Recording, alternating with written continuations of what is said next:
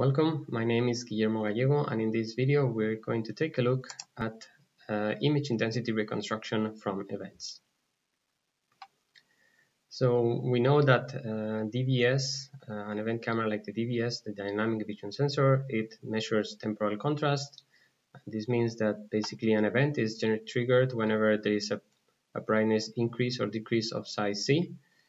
And Basically, this means that the light that arrives at a single pixel, that is this black line, is converted into a sequence of events, which are de depicted here in blue and red, on and off.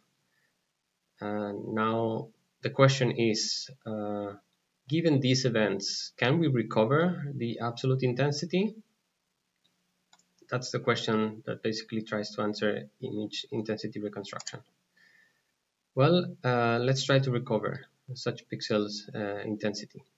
And we know that events, uh, they represent intensity changes. So whenever we have one of these arrows painted here, it means there was a brightness increase of size C or brightness decrease of size C of size minus C.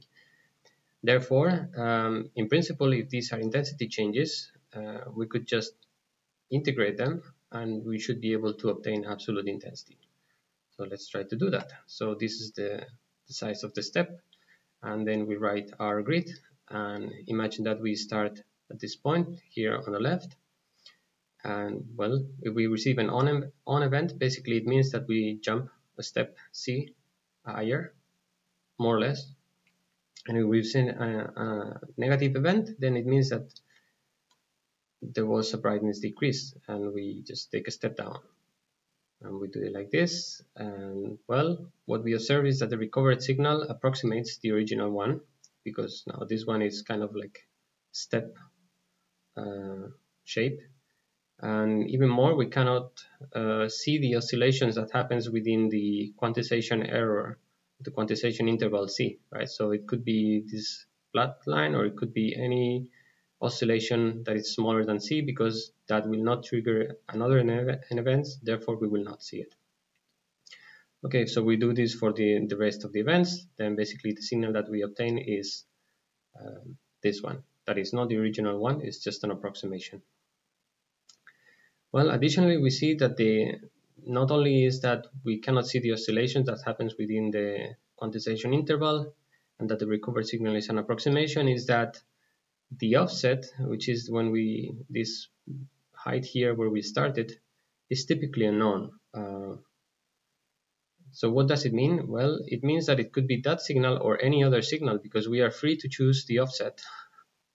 And all these signals, they are consistent uh, with, with the events, right? So that's really a problem because, yeah, integration uh, might work, but this is for one pixel. What happens when we have multiple pixels? Then, well, ideally, if we want to have a coherent image, we, need to know what these offsets are for all pixels in the image. Um, so if we write it a bit more formally, um, the intuition is the following, is that this was the offset, and now we are integrating something that will resemble like a temporal derivative of brightness. And when we integrate this from 0 to t, then well, we know that this formula, basic formula from calculus applies. And this is just uh, an increment, an increment brightness. By definition, if we move L0 to the other side, then this is LT minus L0. Okay, now if we write it in the quantities that we have for the DVS pixel, basically we have the log brightness, estimated one uh, because it cannot fully recover at a pixel x is basically the offset which was that orange dot from before. So the intensity at time equals zero and then we sum here on the right uh, something that comes from the events right? So we take all the events that happen from 0 to t uh, with these timestamps tk and we sum the polarities and we multiply also by the contrast threshold to get uh, physical units of intensity.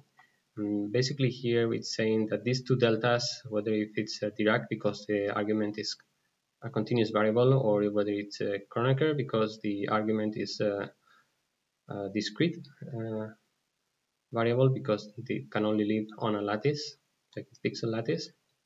Basically, this is saying that whenever an event arrives, I will update pixel uh, xk and at time tk, and that's where the location of these jumps of size c and sign plus or minus 1 will happen.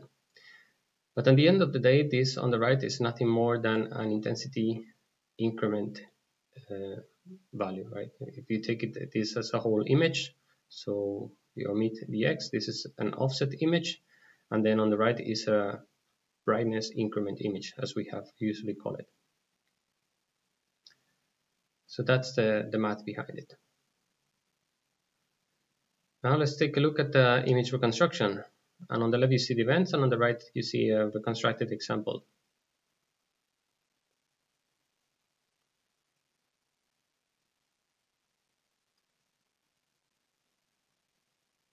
And I think this is quite interesting because it's somehow surprising that we are talking about the problem of the offset, that we don't know the offset, and we are starting from a zero initial condition, but we are still able to get somehow grayscale absolute intensity information, right?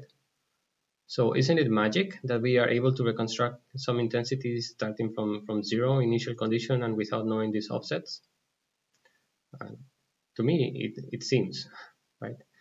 Did you also notice how the intensity, so this grayscale value, uh, the information appears as the edges moves through the scene and then it fades away, as we can see. So why is this happening? And we haven't seen this method yet, but basically it starts from grayscale and then there is some integration going on when the events happen and there is now then if there are no events happening there is some temporal decay. And also, did you notice the that you can see uh, what's in the background? There is like an after image when during fading. So after the cyclist, I can see here behind, I can see some trees and a plant, right? So I think this is very interesting that the DVS gives us intensity changes, but nevertheless, we are able to obtain somehow to recover um, the absolute intensity. And not only that, we can also recover, as you can see in the video, at, uh, at high speed, right? We can slow down the video. So we create a video that, or images that they, they inherit the properties from the, from the events, such as that they are high speed and that they are high dynamic range. Okay, so that's it for the sneak peek about the image reconstruction. And if you want to read more about these offsets and how to recover the signal, well, this is uh, the reference to do so. Thank you very much.